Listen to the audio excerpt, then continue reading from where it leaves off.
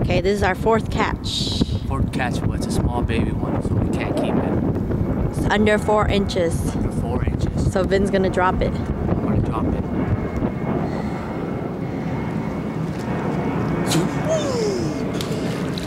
Ooh, splash! It's probably floating down now. It's probably dead.